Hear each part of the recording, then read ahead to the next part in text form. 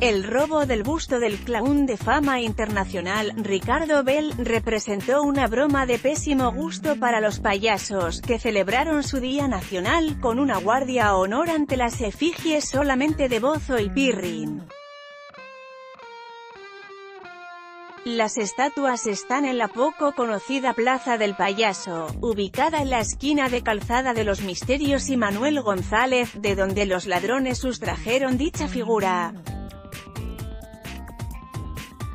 Te puede interesar. Estos son los cierres viales por llegada de peregrinos a la Basílica de Guadalupe en ese lugar jardinado, hay cuatro pedestales y dos bustos solamente, uno es del recordado Bozo y otro de Pirrín, y, aunque la de Ricardo Bell fue arrancada, sus colegas de la risotada y zapatotes descomunales de todos modos le pusieron un arco de globos blancos y verdes para homenajearlo.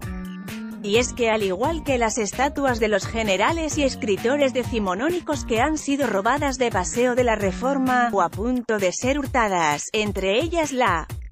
de Manuel Paino, el autor de Los bandidos de Río Frío, la de dicho payaso no se salvó de que se la llevaran y la vendieran quizá como fierro viejo.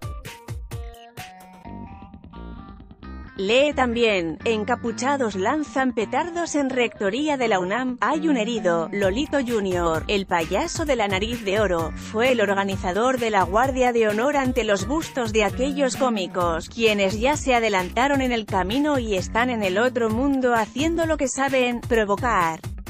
La risa a carcajadas del creador o de San Pedro el comediante Sergio Corona fue uno de los promotores de dicha plaza y quien recomendó que los bustos fueran en cemento, pero la de Ricardo Bell se le dejó en bronce y ahora simplemente la desaparecieron los rateros del rumbo de Peralvillo.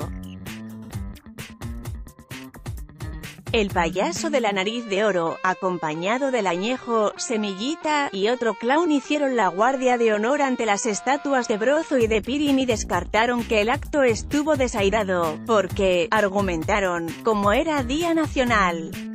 del payaso. Hubo celebraciones en otras partes del país. Finalmente, para el jueves 13 de diciembre, los payasos metropolitanos ya preparan otra peregrinación a la Villa de Guadalupe, la cuarta que realizan esos maestros de la risa durante el año.